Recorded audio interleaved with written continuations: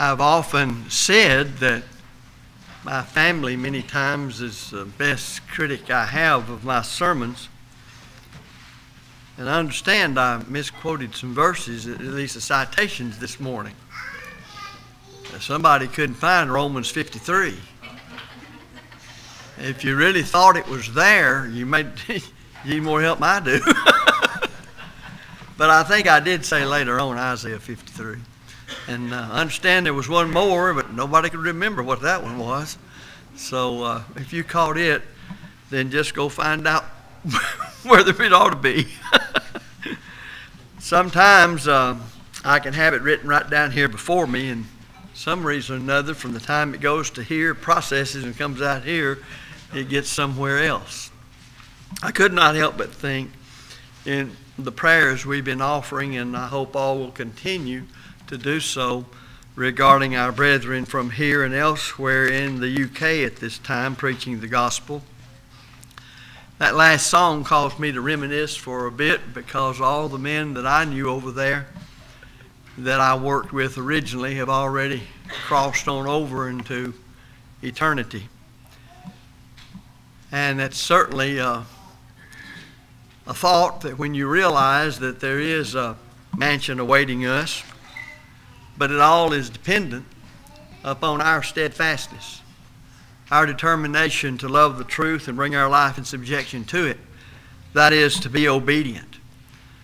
Our text today is coming actually from verses 17 and 18 of Ephesians 6. Ephesians chapter 6, verses 17 and 18. But I'm going to read all the way from verse 13 through 18. So we'll get back to 17 and 18 in a moment. So I begin reading in verse 13 of Ephesians 6. Paul writes, Wherefore take unto you the whole armor of God, that ye may be able to withstand in the evil day, and having done all, to stand. Stand therefore, having your sins, your loins girt about with truth, and having on the breastplate of righteousness, and your feet shod with the preparation of the gospel of peace. Above all, taking the shield of faith, wherewith ye shall be able to quench all the fiery darts of the wicked, and take the helmet of salvation and the sword of the Spirit, which is the Word of God, praying always with all prayer and supplication in the Spirit and watching thereunto with all perseverance and supplication for all saints. Now, I said I wanted to zero in on verses 17 and 18. So I will say this regarding that part of what I've just read to you. Paul, of course, as you realize, is speaking about the Christian's need of the whole armor of God. But it's the Christian's responsibility to do what's necessary to put on the whole armor of God. You can encourage me to put on the whole armor of God. You can teach me what it is. Uh, you can show how it is effective armor in the battle against Satan. But I've got to do it. I must will to do it. I must will to understand the Bible. I must will to be determined to submit to the teaching of the Bible. It comes down to a very personal thing. Now, the point we want to emphasize, emphasize here is the last part of our verse with all perseverance and supplication of the saints. And more than that, I want to just look at perseverance. Perseverance. Now, notice that this armor that we read about, Ephesians 6 13 through 18, is available and it is to be worn by every member of the church, every Christian. But this armor is nothing Nothing at all unless the Christian has the right state of mind, the right attitude, that is, the right disposition of heart. And Paul speaks of this even in verse 18. He first speaks to the Christian's need to engage in prayer. The Bible has a lot to say about that, and that's worthy of, of a study by itself. But nevertheless, to be petitioning your Father in heaven according to the teaching of the Bible regarding the needs that we have in service to Christ, that we might be faithful. He also needs to watch, as we've emphasized, and this is what this lesson is about, with all perseverance. Now, the word perseverance means to persist in something, to endure in spite of elements or things or people that might be arrayed against you. From its Latin roots, the word literally means through severity. That's rather interesting. Persevere comes from through severity in its Latin root. We're interested in perseverance, as Paul said we must in the passage we read, where we are today in our culture, in our society. In an age of instant oatmeal and microwave popcorn and all sorts of other instantaneous quick foods or fast foods, the idea of perseverance, uh, many of us are just not too big on that idea. Uh, we want to step into heaven while we're still wet from the watery grave of baptism. But we must realize we've just been born into Christ at that stage. We're just beginning, it's not ending. We're babes in Christ, new creatures in Christ. We're just starting out on the road that helps us develop the Christian character. We want everything today, at least too many of us, to be delivered to our doorstep, on our timeline, at our convenience. I find it interesting with all the supermarkets all trying to now get in on uh, call and order you foods and come by and pick it up at the curb, or else they'll even bring it to your house. Everybody's in competition on that nowadays. So everything is make it as easy as possible and quick as possible. That's really where we are. But it won't work that way in living the Christian life. Before we can persevere, now, now listen to me, before we can persevere, we need to severe. Before we can persevere, we need to severe. Now remember, we noted earlier that the word literally meant through severity. And this can come in the form of tests, trials, and troubles. You know, that's all a part of growing up in Christ and becoming more like Christ. I feel sorry for churches that have preachers and elders that are trying to tell people no big deal about being a Christian. Just be baptized and coast right on. You can't find that in your New Testament. Nowhere is it found in the whole Bible when it comes to serving God faithfully on this earth. And if you look at most false doctrines regarding salvation in Christ, it has God doing all of it, nothing you've got to do. That just doesn't happen. It never has been the case.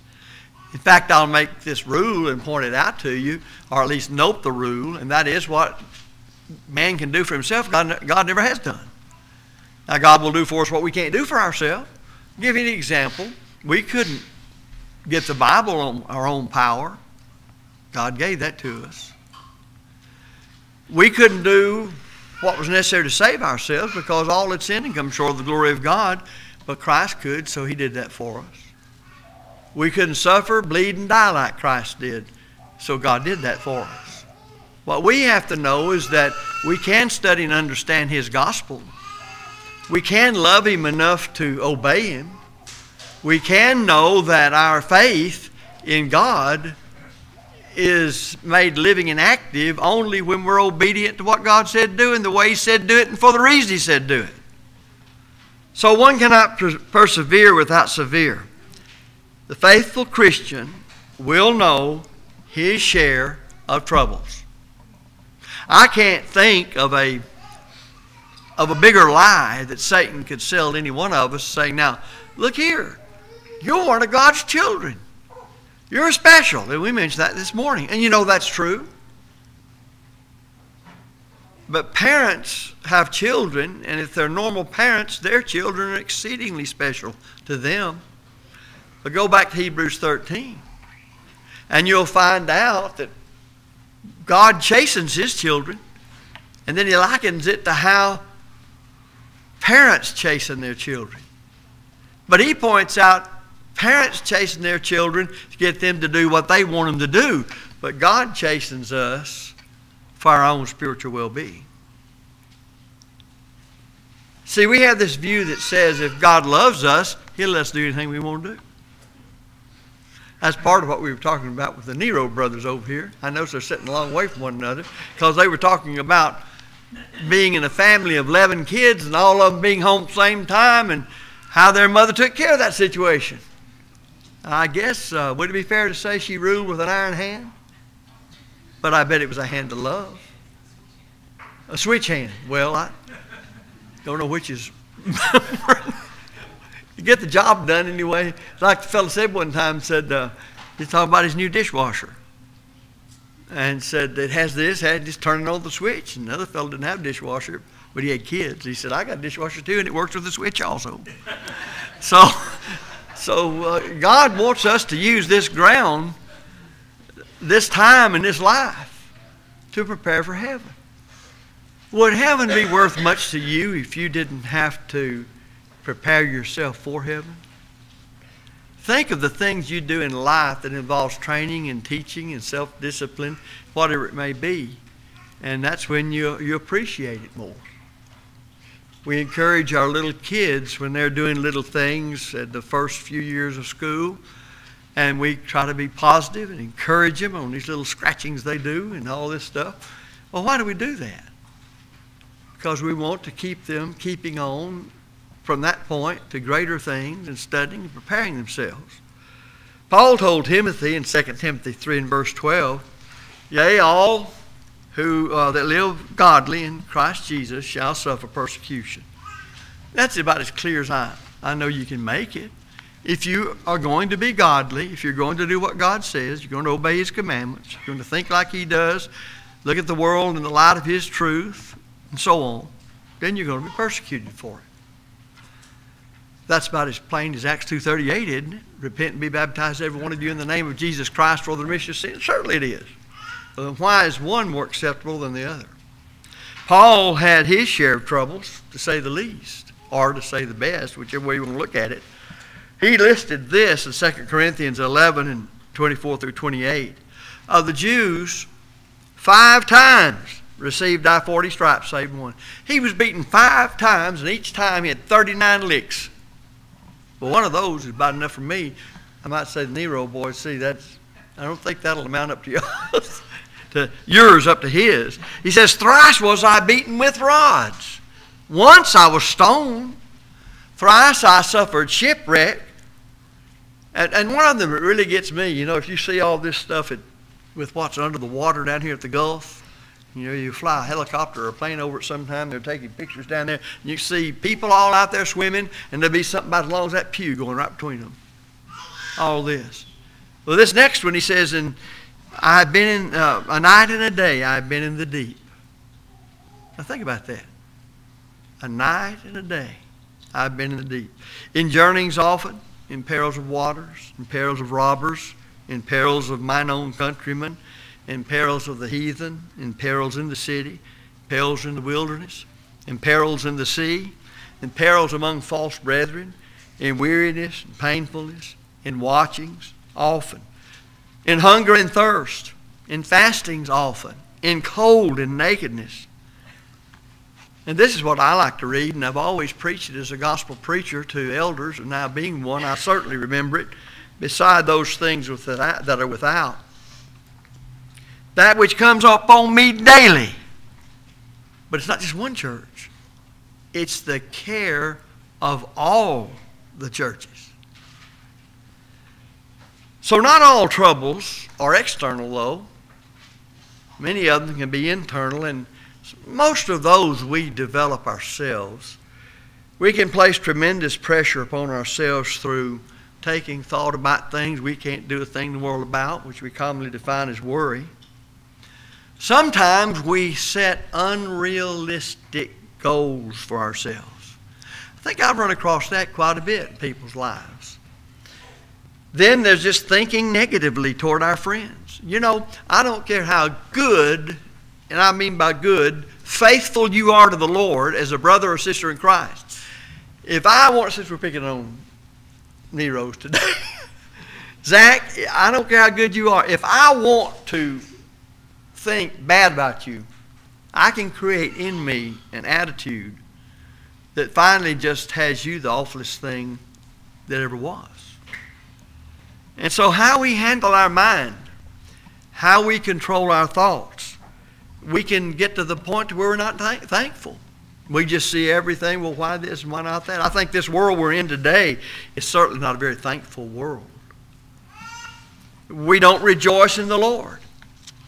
Think about what I read about the Apostle Paul, all that he went through. Yet he's the one that wrote, Rejoice in the Lord always. And again, I say rejoice.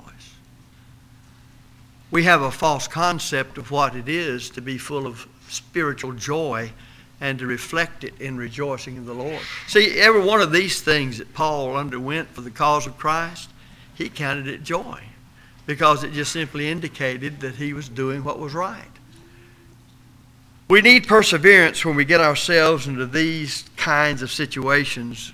That is, we don't let them get us down, we get them down. We stay with it. Nobody's going to make me quit. Uh, that has to be within a person. I like to think of it as being stubborn with the truth. You got to do that. You can't just say, well, he treated me wrong. She treated me wrong. They don't understand me. They don't care about me. They're this and they're that. And all that stuff's going to be negative. I can't even think about what it'll be, but it'll be that way. And the person that starts down that road, and yet we don't count our blessings and name them one by one. What if nobody really cared? You know, if I didn't care about you and you didn't care about me, we wouldn't have anything in the world to do with any of us. Nothing. We'd just see the person beaten and robbed and naked and left by the road and say, Glad I'm not him. Just keep trotting right on down the road. That's what the priest and the Levi did. And yet they should have epitomized godly concern and sympathy. We persevere through trials. Now that's how you grow in Christianity. That's how you grow. Do you ever pray for growth and development? Well, you better not be too serious about that because the trials will come. I promise you. They will come. Peter said regarding those who suffered various trials that the trial of your faith is your faith on trial? Well, there was somebody's faith was on trial. Well, the Holy Spirit had Peter write that. That the trial of your faith now, watch what he says about it. being much more precious than of gold that perisheth, though it be tried with fire. You know, you, your gold gets better the hotter you burn it because it burns the impurities out. Notice, though it be tried with fire, might be found unto praise and honor and glory at the appearing of Jesus Christ. 1 Peter 1 7. So many times we set our goals like the world does. We want it here. We want to receive the praise and all of that here. Well, there's not a thing more wrong with Christians encouraging one another and patting one another on the back when there's genuine sincerity there to encourage people to keep on keeping on. James said, Blessed is the man that endureth temptation. For when he's tried, and that tells us what temptation means, being your faith put to the test. When he's tried, he shall receive the crown of life, which the Lord hath promised to them that love him. James 1.12. So, enduring tests of our faith, enduring trials that come upon us, will help us to persevere. Truth gives us a reason to persevere. We don't live in an age that likes truth very much. Truth is whatever suits me or whatever goes along with my view of things. Truth is not considered absolute and objective and outside of me. So you hear people saying your truth and my truth your God and my God, or my God wouldn't do that, and all that rigmarole. If you want to know what God will do or not do, you want to know how He deals with man, you go to His Word, where He plainly says it. He tells you plainly what He's going to do with man, in forgiving him, and finally at the judgment, and judging all men. Truth gives us a reason to persevere. It's not enough to persevere if we don't have something to hold on to. Truth is not going away, it's always there. it's always right here, real close by. And you can study that book and get it in your mind. And even when you don't have it available in its book form, it's in your mind, and you can just start quoting Scripture to yourself. I, I don't like, see, what is the test you get where you have to go through that tunnel? What is, what is that? What, MRI? Oh, I hated that, and I had to have one of those. Because you know, that thing is right here in front of your eyes. And. Uh, So I just decided I'd think about something else. So I started singing gospel songs in my mind and quoting all the scriptures I knew. Works pretty good. Make you realize you'd studied more no more scripture, but just start, close your eyes sometimes, start quoting scripture, see how far you can go.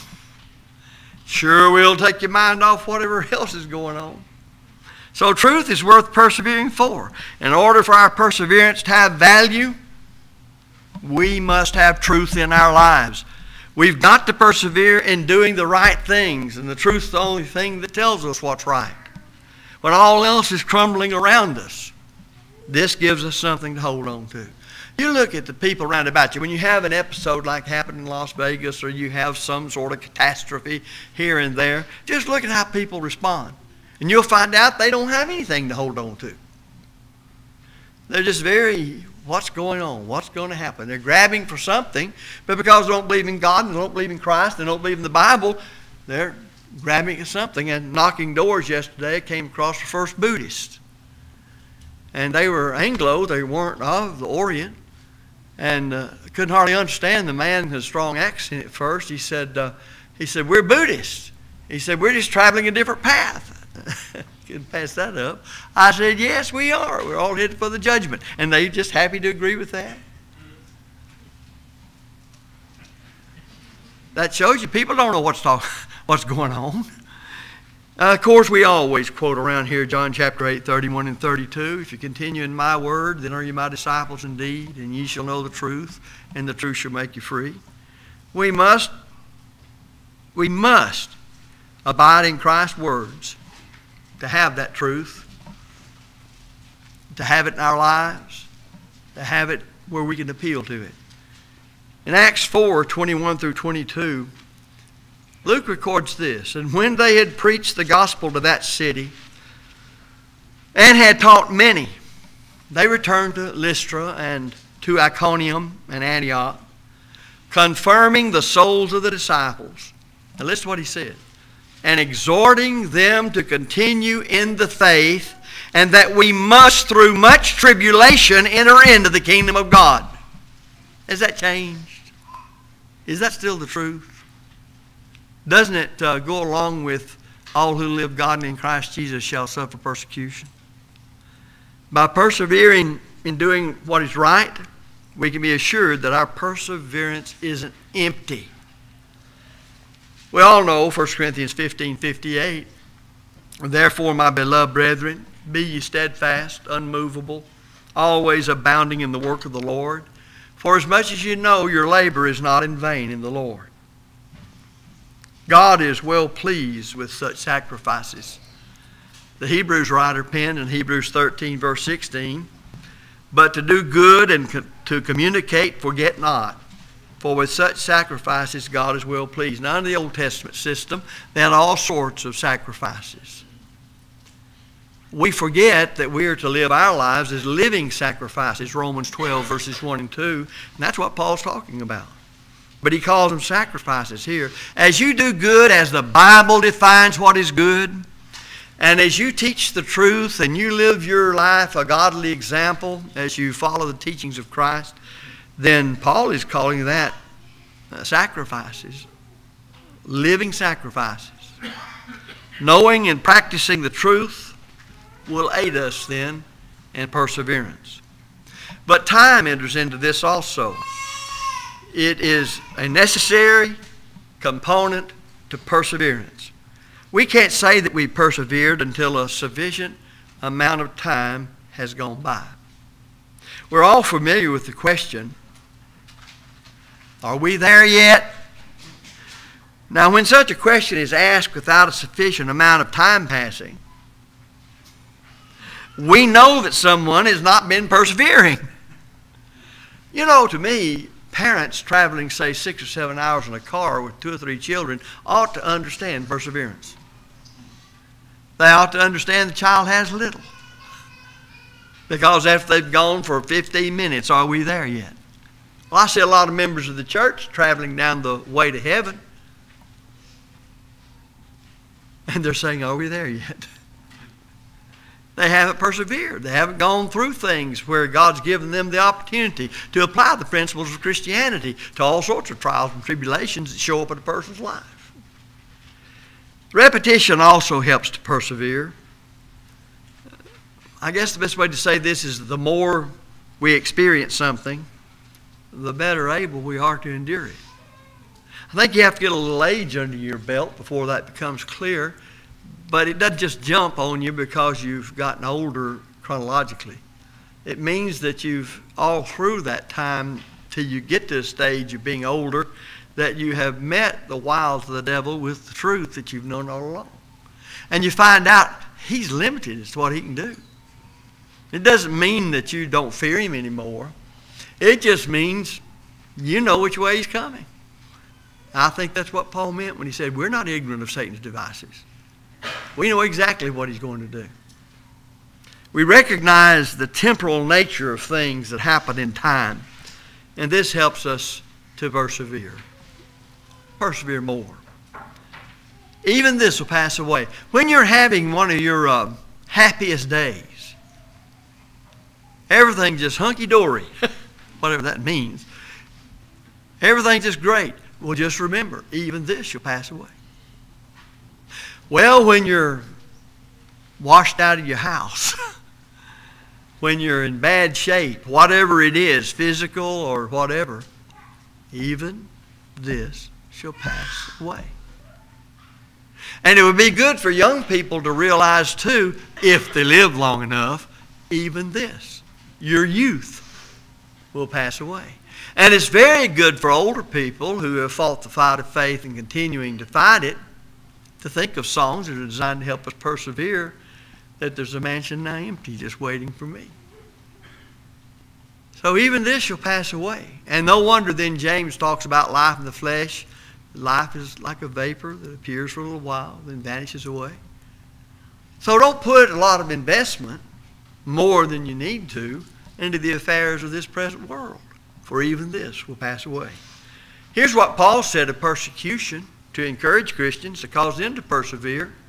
For our light affliction. Now, I want you to go back and remember what he described by detail, and yet he says light affliction. Well, he's talking about of the Jews five times received nigh forty stripes, save one. Thrice was I beaten with rods. Once was I stoned. Thrice I suffered shipwreck, and so on. But he says light affliction, which is but for a moment. But it does something for us as we hold on to the truth through all of it. Works for us far more exceeding and eternal weight of glory. Here's how it works. While we look not at the things which are seen, but at the things which are not seen. For the things which are seen are temporal, but the things which are not seen are eternal. 2 Corinthians 4:17 through 18. When we know that our days on the earth are limited, and they are, time can be our friend as we struggle to persevere. The psalmist had this to say in Psalms 90, verses 9 and 10 For all our days are passed away in thy wrath. We spend our years as a tale that is told. The days of our years are threescore years and ten. And if by reason of strength they be fourscore years, yet is their strength labor and sorrow, for it is soon cut off, and we fly away. Notice you don't cease to exist, you fly away. And so we have a song I'll fly away, oh glory, I'll fly away. When I die, hallelujah, by and by, I'll fly away. Time is our friend in developing the art of perseverance. And the last one is trust. Trust.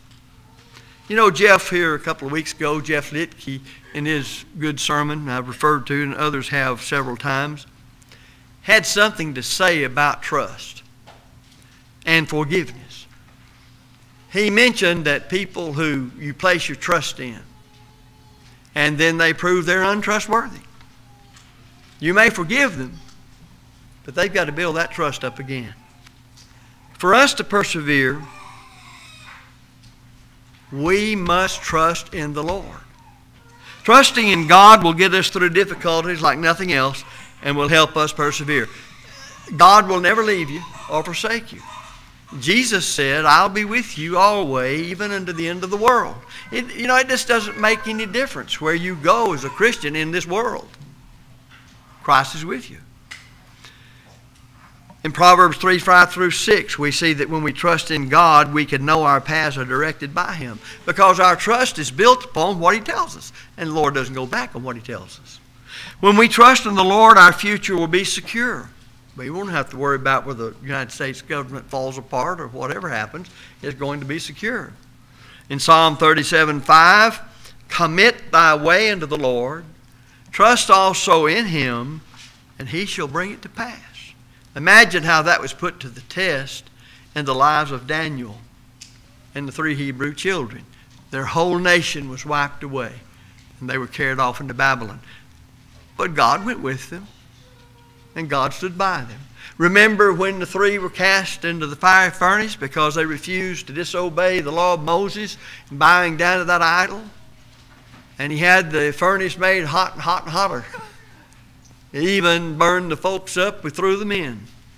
But when Nebuchadnezzar looked in that thing, did we not throw three men in the fire? But there's a fourth. And he has the visage of the Son of God.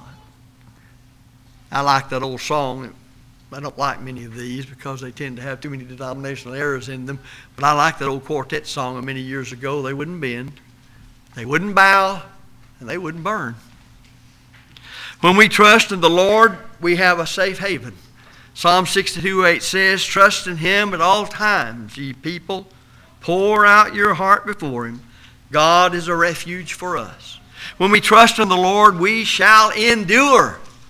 Psalm 125 1 They that trust in the Lord shall be as Mount Zion, which cannot be removed, but abideth forever. When we trust in the Lord, we have great strength.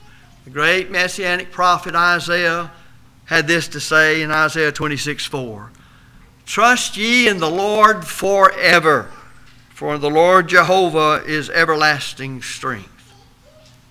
Trusting in the Lord is key in developing perseverance in service to God, which means faithfulness to His cause.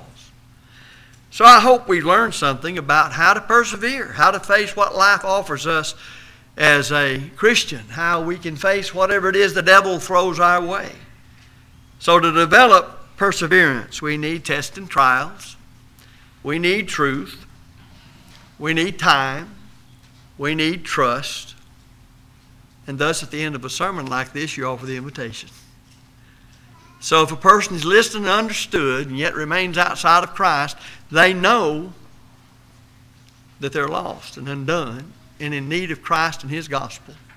To believe that He is with all your heart, based upon the evidence of the Scriptures, Romans 10 17. To repent of your sins, Acts 17 30, and confess your faith in Him as the Son of God, Romans 10 10 and then to complete your obedience to the Lord in becoming a Christian by being baptized for the remission of your sins, Acts 2.38. The Lord will add you to His church, and there you can serve Him faithfully all the days of your life, persevering in the way we talk today until you stand before Him in judgment and are blessed to hear, well done, thou good and faithful servant. You realize what He's saying, don't you? Blessed are you who persevered, who stood the test, who didn't quit when the going got rough. Well, as a child of God, it may be that some have stumbled and not changed back to the way of truth. But you have this opportunity to repent of your sins, confess those sins, and pray God for forgiveness in obeying God's second law pardon. God stands ready to forgive any man regardless of the sins. He loves everybody. But we must be the one to do the acting upon His will and demonstrate our love of Him and faith in His system of salvation by obeying Him as we take Him at His word. If you're subject to the invitation of Jesus, then we invite you to come to Him while we stand and sing.